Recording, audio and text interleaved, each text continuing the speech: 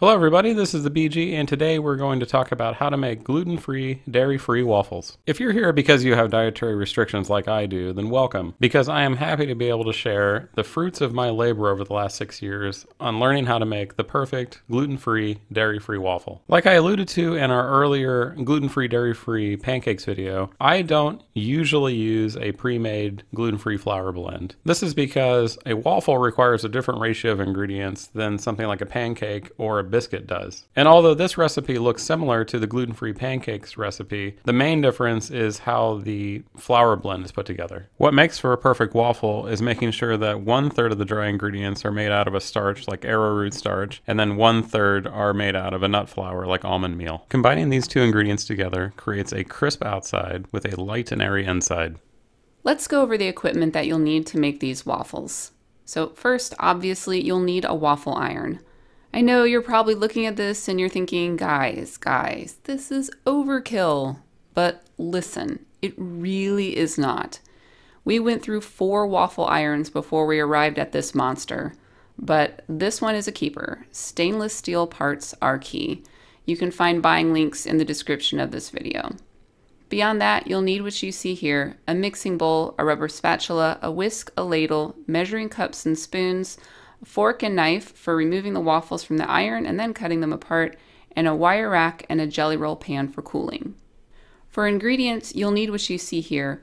Wet ingredients include eggs, oil, and soy milk, although you can also use almond milk. Dry ingredients include rice flour, arrowroot powder, almond flour, sorghum flour, dark brown sugar, baking powder, and salt. Also, we're showing you olive oil spray, which we will use on the waffle iron. And here's the recipe that we're using for these waffles. If you watched our GFDF pancake video, you'll see that there are strong similarities between these recipes. You can also get a copy of this recipe at our website, ourfinalfreezer.com. The first step is to put the batter together. For this, we're going to be adding three eggs to a bowl, then three tablespoons of oil, one and a half cups of soy milk or almond milk, three tablespoons of dark brown sugar, one quarter cup of sorghum flour, one quarter cup of rice flour, one half cup of arrowroot powder, one half cup of almond flour, three quarters of a teaspoon of xanthan gum, and then two tablespoons of baking powder. Since gluten-free batters require more baking powder to get the same amount of lift than their glutinous cousins do, make sure that you're using a aluminum-free baking powder here. If you do not, this recipe will taste metallic. With all the ingredients in the bowl, now it's time to start whisking the main difference between whisking or mixing a gluten-free batter versus a glutinous batter is you don't need to worry about overmixing. It's actually beneficial to mix the holy hell out of this batter compared to a, the glutinous version of a waffle. Just go to town on it.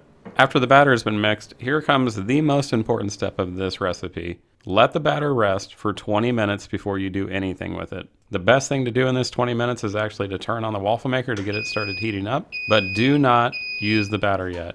Gluten-free batters require a resting time period to allow whatever the liquid you're using, soy milk or almond milk, to actually get absorbed into all the gluten-free flour blend. Now that the batter is rested, you can actually see when I mix it, it has thickened up. It's a bit puffier. This is perfect to start with. The next step is to oil the waffle maker. This is something you're gonna do for every single waffle. It's not something you do the first time, it's something you do every time for every waffle. With the iron oiled and up to temperature, the next step is to ladle in the batter. For my waffle maker, it takes a little bit more than one ladle. And in this case, the one that I'm using is about a one cup ladle. What you're looking for is to just be able to barely cover the bottom iron. If you you add any more than that, you are going to just, it's going to start exploding out the sides of the waffle maker after you close it. It is better to add too little batter than too much batter. The other problem with adding too much batter, other than it coming out the sides, is that it actually makes the waffle denser and heavier. Now with the waffle cooking, we can talk a little bit about what the time and temperature ranges are for a waffle iron. The waffle iron that I'm using here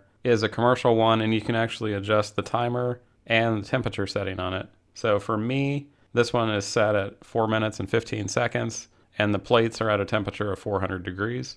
If yours doesn't have the ability to adjust temperature on it, you can certainly adjust the time period that you're cooking the waffle for. The main thing you're looking for is when it stops bleeding steam out the sides of the waffle maker. You can actually hear it hissing. That's what the steam, that's the sound of the steam as it's coming out of the sides of the waffle. Once that's over, that's generally a good sign that the waffle is done cooking. Depending upon the waffle maker you're using, it's going to take three, four, five minutes. The best thing to do is set a timer, see how cooked the waffle is, you know, when the timer goes off, and then make adjustments to the timer. You are going to dial in your specific waffle maker to get the timer right on it. If I'm happy with how the waffle looks when the timer goes off, I'm just going to take a fork just to loosely pry it out of there. Just be careful at this step. With it out of the waffle iron, just put it on a cookie cooling rack on top of a cookie sheet, and then just leave it off to the side until you're finished with all the waffles.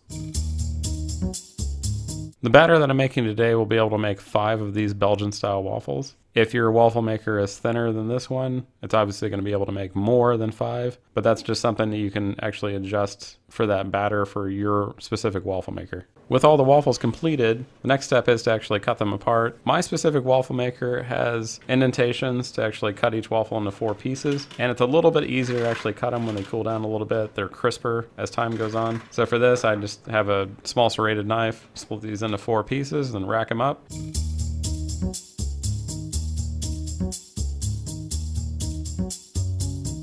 If you're going to make more than one batch of this recipe, make sure that you start an oven at the same time that you start the waffle maker at its lowest setting so that as you start making waffles, you can stash them in the oven so they stay warm and crispy over time. So there you go. The best gluten-free, dairy-free waffle that I can muster. I'm still climbing the mountain to make the best gluten-free, dairy-free biscuit. The most elusive of the gluten-free, dairy-free breakfast items. All the recipes that I found online for gluten-free biscuits just have not delivered. It's so easy to make an amazing regular biscuit. I'm still searching for that perfect gluten-free biscuit. So when I find it, I'll make sure to put a recipe and a video out for that as well. But for this, enjoy my waffle magnum opus. Have it with some blueberries and whipped cream, dairy free whipped cream, little maple syrup, butter, whatever you want. Raspberries, strawberries, go to town. This is the BG, keeping it square. See you guys next month. Thanks for joining us today and welcome new subscribers. So very glad that you're here. In our next episode, we'll make something that's anything but gluten and dairy free. It's our recipe and technique for making French toast brioche style. Took us seven years to perfect. You'll see why. Subscribe to us, check out our website, and we'll see you next time on our final freezer. Why did the pig do karate? Why? Because it was a pork chop.